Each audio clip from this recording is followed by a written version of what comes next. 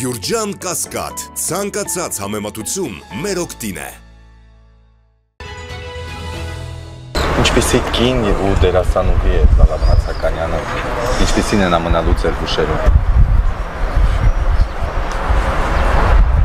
Լալայի եւ Աշոտի ընտանիքին մեր ձեմ արդեն 44 տարի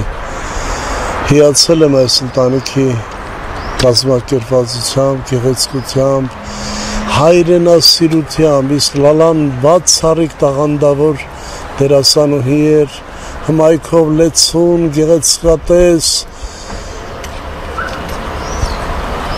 նրա կատարածները ընդմիշտ մնալու են հայ բեմարվեստի պատմության մեջ, որովհետև սիրելի է մեր ժողովրդի համար։ Գնաց խաղաղությամբ սիրելի լալա։ Ինչպիսի մտավորական էր ինքը Հայաստանի։ Ինքը ուժեղ մարդ էր։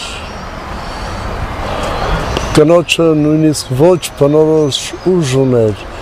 խելքի առումով, կեցվածքի առումով, պահվածքի իմաստով շատ խելացի ու համարցակ։ Երբ եք վերջին անգամ խոսել Տիկին Մնացականյանի հետ ինչ տպավորություններ։ Ճիշտ ասած վաղուց մենք ավելի շատ առնչվում ենք ամուսնու Աշոտ Համբարձումյանի հետ, բայց երբ Լալային տեսնում եմ շատ ջերմ իրար գրկելով հարազատի նման։ Երբևէ ողջել եք որևէ առողջական։ Երբեք Նույնիսկ ինքն էր մեզ խորհուրդներ տալիս ինչպես անել, որ ավելի լավ լինի, ավելի առողջ ապրենք, ավելի գեղեցիկ ապրենք։ Ես շատ ակտիվ եմ կյանքի բոլոր հարցերի նկատմամբ։